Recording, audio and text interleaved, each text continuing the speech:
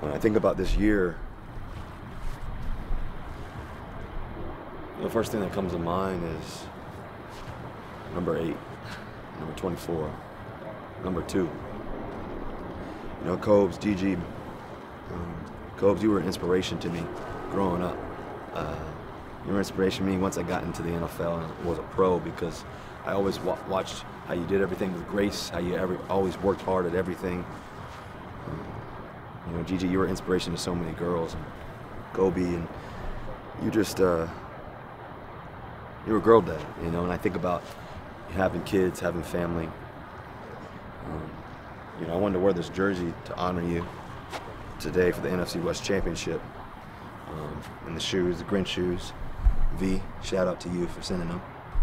But, um, you know, your family means a lot to my family. Um, we love you all. And uh,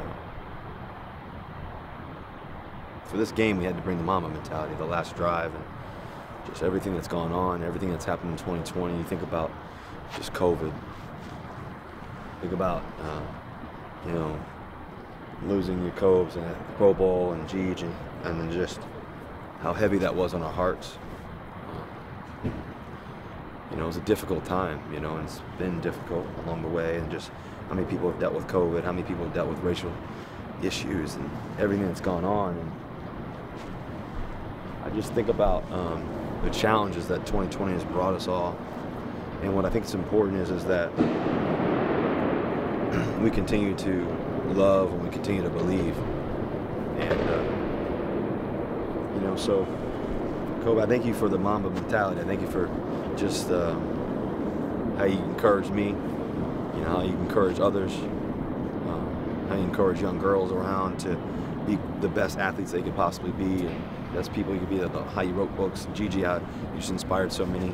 Um, but you know, this last drive, this this game, NFC West Championship, to get to where we are as a team, just everybody sacrificing. Guys have, you know, family members who have gotten COVID, or people have gotten cancer, this or that, or just not being able to see your family or loved ones, and you know, not used to not having anybody here in the stands, you know, nobody here around, and you know, your love for your teammates, your love for the game, everything comes down to, you know, you're by yourself in the gym working, at, you know working here, you're, you're, you're by yourself in the off season, you're putting all the hard work in and you know, it comes down to one drive, comes down to one play, one somebody make a play here or there and that one shot, that one moment and just, um, you know, life is so much bigger.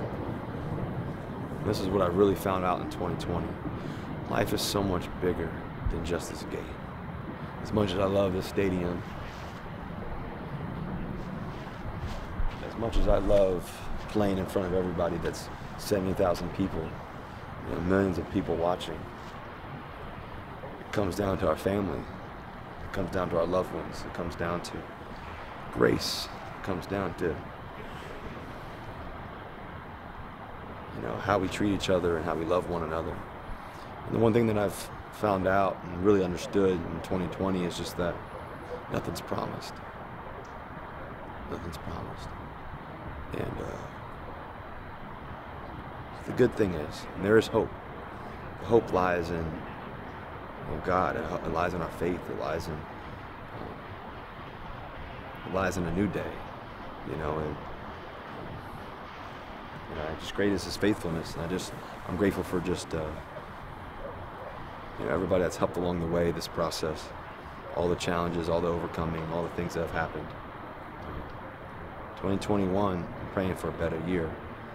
Um, I'm praying that we all get close to one another, we love one another, and uh, yeah. Did you call Kobe on that TD to Hollister in the back corner?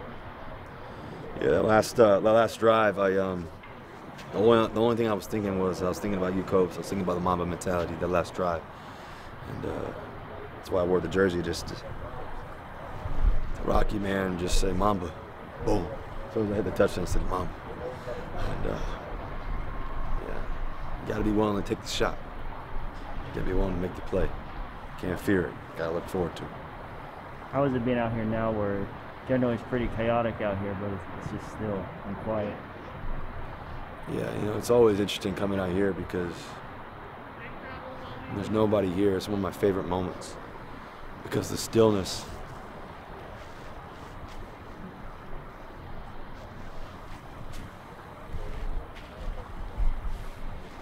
The stillness of everything is really. That's how our minds should be in the clutch moments. So, throughout life, there's always these moments, there's chaotic moments, there's so many things going on, but to be able to remain still, to be out here and just know that I'm grateful to God that He's given me this opportunity to do what I get to do and just hopefully inspire some young kid to, to be able to do what I get to do one day. Hopefully, I get to inspire my kids to dream, take risk, and to take a chance. You know, to take the shot, to make the play, to dream big. You know, so why not you?